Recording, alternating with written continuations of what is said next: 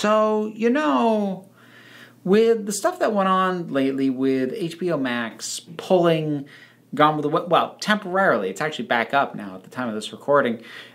Um, and it makes me wonder because I, I forget what it was. Something set off my, my memory as to, you know, the fact that Disney still won't release Song of the South and seems to be a lot more scared of its own history of depictions of racial issues or insensitivities or stereotypes.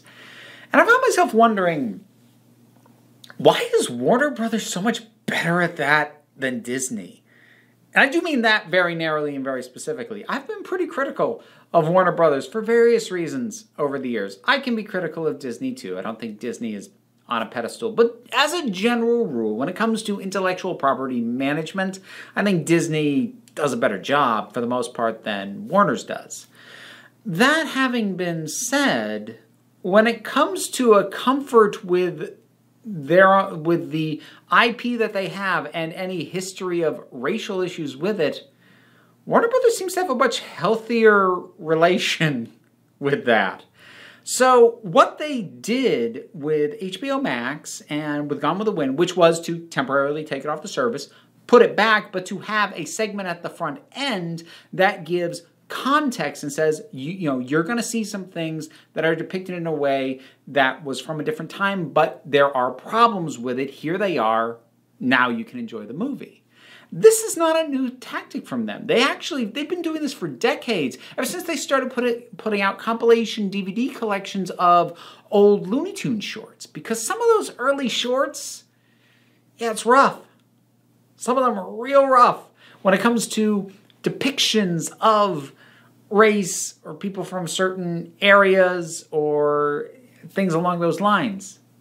But Warner Brothers has never pretended like that didn't happen. They haven't ignored it.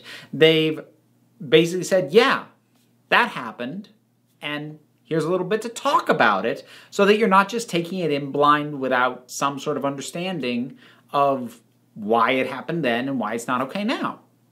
And that's a healthy way to go about it.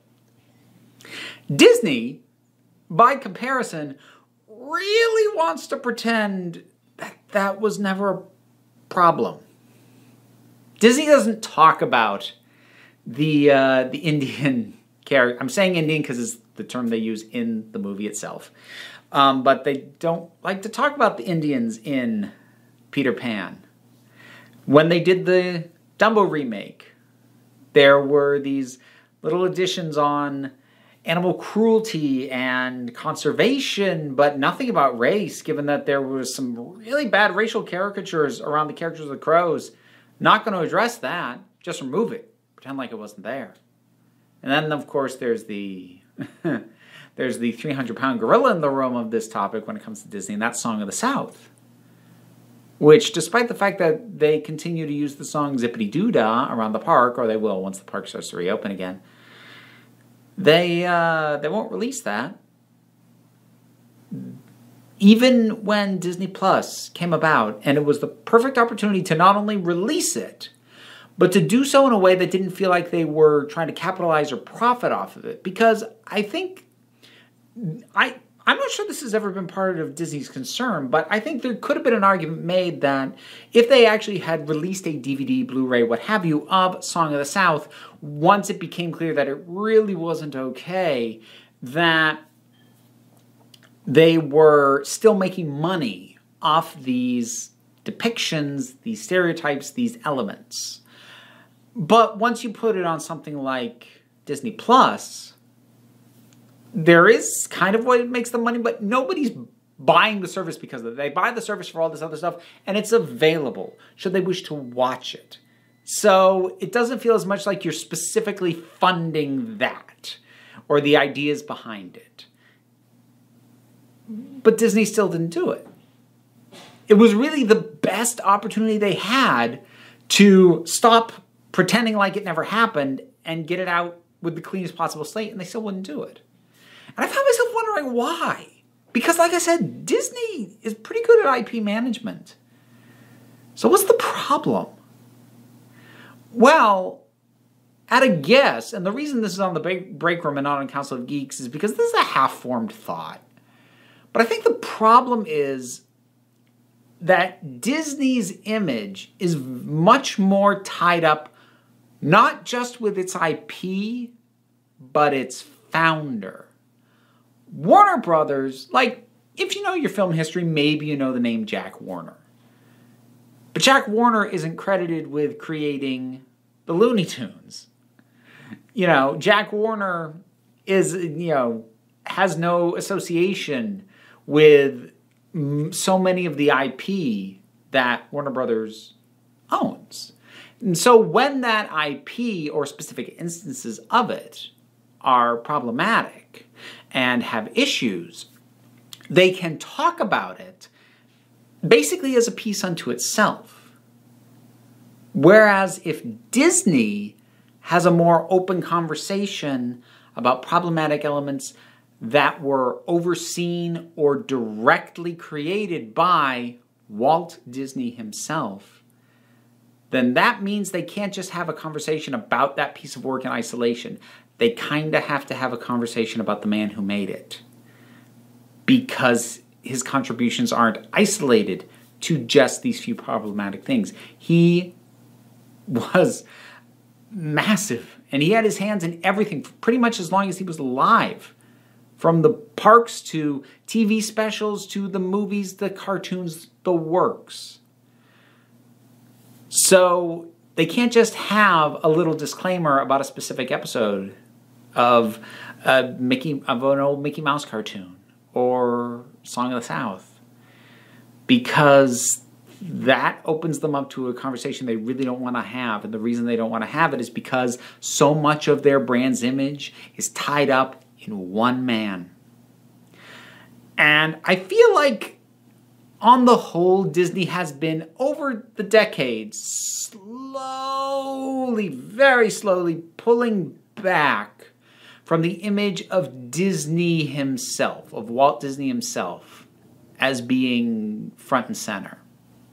They haven't abandoned it, obviously, but, and maybe part of that even initially started with them starting to acquire, you know, other things that clearly Disney didn't create. You know, once Disney bought ABC and all the things associated with that, and then later bought Marvel and Pixar and uh, now Star Wars. Obviously, Di- Walt Disney himself has no association with those, and so it becomes easier and easier to distance themselves. But to give you an idea of how tied in it used to be, Walt Disney died decades before I was born.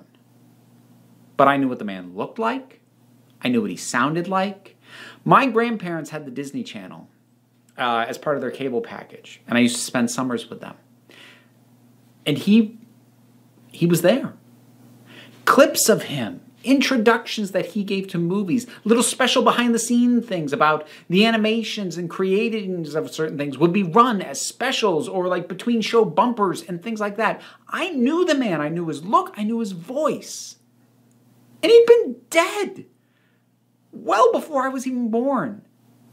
That is how tied into the brand that man is.